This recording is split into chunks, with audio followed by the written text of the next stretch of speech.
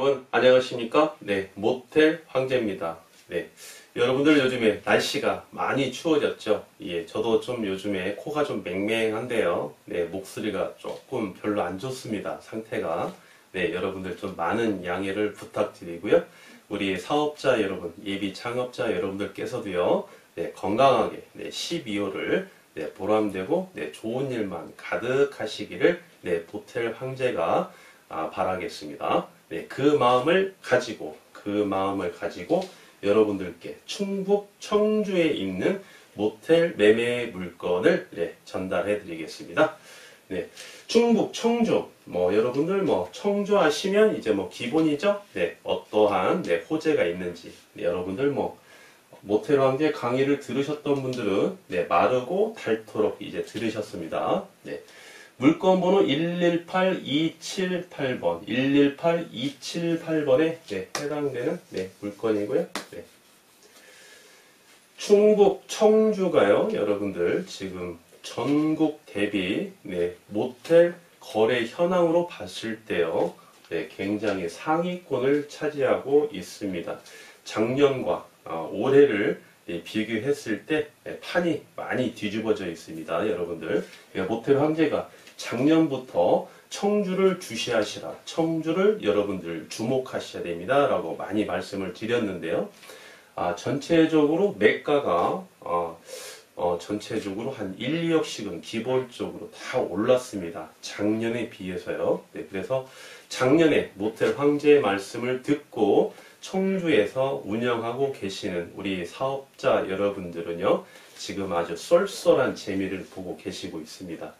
아, 지금도, 지금도 보시면은요, 청주가, 그래서, 어, 매물이, 아, 일부는 나오는데요, 시장 가격 이하로 나오는 물건은 거의 좀 찾아보기가 조금 어렵습니다. 예, 지금은요. 네. 그리고, 어, 청주 같은 경우는요, 해당 물건이 어, 청주 어디에 입지하고 있냐면 청주 고속버스 터미널 청주 네. 고속버스 네, 터미널 네, 인근에 네, 입지하고 있거든요. 네, 인근에 네, 입지하고 있습니다. 네. 입지 조건 은 굉장히 뛰어난 물건입니다. 여러분들 모텔 황제에게 연락 주시면은요, 예, 모텔 황제가 주소 정확하게 상호까지 말씀을 드릴 건데요. 네, 해당 입지를 여러분들이 컴퓨터 로드맵으로만 보셔도 아 모텔 황제가 청주 고속버스 터미널 인근에 입지하고 있다는 말이 무슨 말이구나 네, 좀 이해가 가실 수 있는 네, 그런 물건입니다. 청주 고속버스 터미널 있지 않습니까? 네. 청주 고속버스 터미널 이게 주식회사인데요. 네. 터미널이요. 2019년 네, 내년이죠. 네, 2019년부터 네, 2021년까지 1년까지 약 2년 동안 2년 동안 공사를 해서요. 2021년에 네, 준공 예정인데요. 그 부지에 그 부지의 준공 예정입니다. 똑같은 부지에 현재 있는 건물을 모두 멸실시키고 이제 아, 신축하는 거죠. 네, 신축하는데 주상 복합 건물입니다. 주상 네, 복합 건물. 예, 지방에서는 네, 찾아보기 힘든 그런 주, 지상 복합 건물이고요. 이 규모가 어떻냐면요. 주식회사 청주 고속터미널에서 네, 5천억을 투자해서요. 5천억을 투자해서 이미 사용 승인 다 받았습니다. 5천억을 투자해서 어, 청주니까는요. 충북 도지사에게 어, 사용 승인을 받았겠죠. 네, 5천억을 투자해서 네, 지하 6층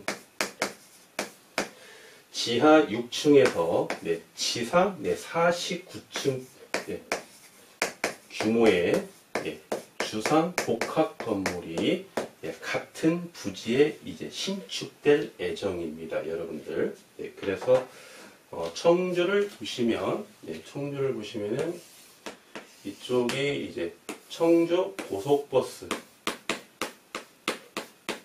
고속버스 터미널이 있고요. 이쪽에 네, 청주 시외버스 터미널이 또 이렇게 있습니다. 시외버스 터미널. 이제 이쪽 부지가 이제 개발한다는 거죠. 네, 그래서 이쪽 인근에 끼고 있는 예, 상가라든지 네, 숙박업소라든지 이런 건 아주 지금 호재를 맞이하고 있다는 건데 해당 모텔은 여러분들 청주 고속버스 네, 터미널 네, 여기에 아주 인접해 있다. 예, 이렇게 어, 입지 조건을 가지고 있는 예, 모텔 매매 물건입니다. 여러분들 이 소유자께서는요, 예, 2016년 2016년도 2년 전에요, 네, 3억을 투자하셔서 3억을 투자하셔서 예, 일부 리모델링을 완료한 물건입니다. 일부 네, 리모델링 리모델링을 네, 완료하셨어요. 네. 따라서 네, 따라서 어, 지금 예비 매수인께서는요 본 모텔을 매수하시게 되면 매수하시게 되면 어, 최대로 매가를 한번 조정을 해서요 매가를 조정을 해서 최대 용자 31억 그대로 받으시고 예, 매가에서 조정된 금액만큼 네, 실인수가도 조정이 되겠죠. 예, 그래서 본 모텔을 매수하신다면 현재 매출이 얼마 나오고 있죠? 네, 7천만 원씩 나오고 있죠. 네, 7천만 원씩 형성되어 있습니다. 그래서 매수 시점이 리모델링 시점은 아닙니다. 또 매수 시점이 부분 예, 일부 리모델링 하는 시점도 아닙니다, 여러분들. 일단 7천만 원씩 꾸준히 올리고 있으니까는요. 아, 일단은 본 모텔을 관리만 잘 하셔서 관리만 잘 하셔서 일정 기간 동안 일정 보유 기간 동안 매출에 의한 매출에 의한 네, 수익이 발생되지 않습니까? 네, 예. 이 수익을 여러분들이 모아 모아 모아서 매출이 얼마 떨어질 때, 네, 5천만 원 떨어질 때, 5천만 원까지 하락할 때, 그 시점, 그 시점에 네, 리모델링 시점이라고 보시면 되겠습니다. 그 시점이 네, 리모델링 네, 시점이라 네, 이렇게 보시면 되겠어요. 무슨 시점이요? 매출 네, 5천만 원.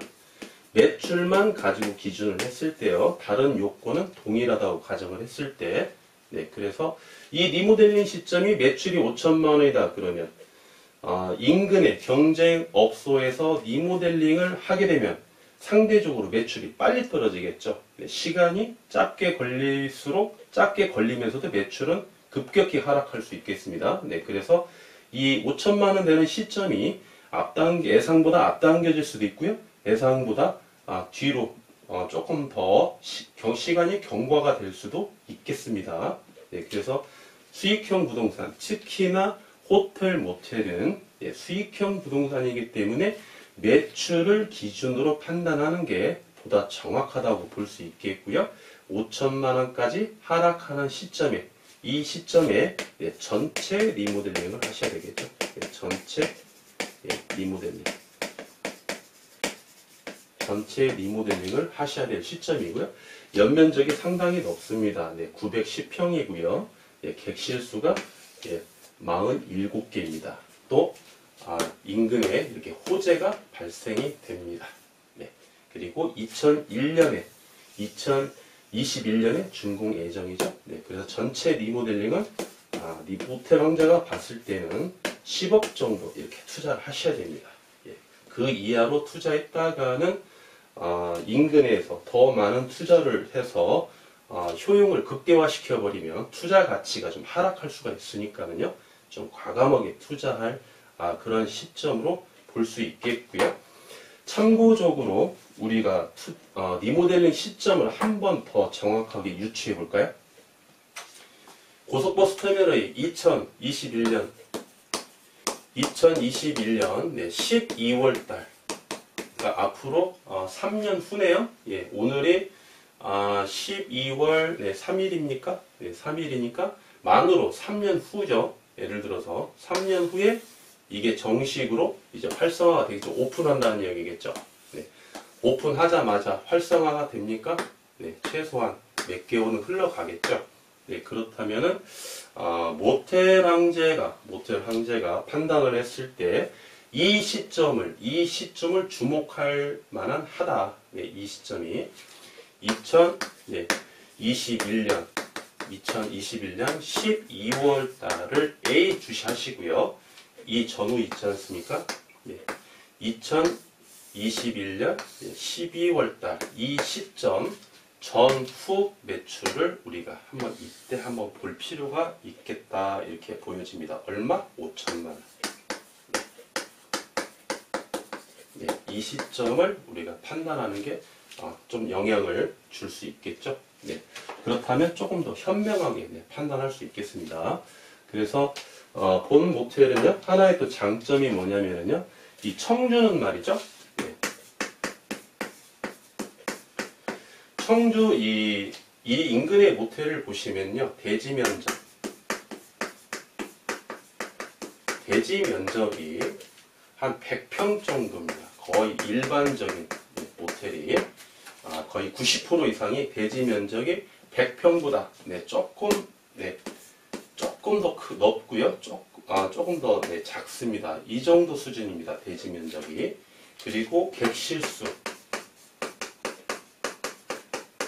객실수는요, 대부분 네, 28개 아니면 많으면 30개. 네, 이 정도 수준입니다. 이 정도 수준.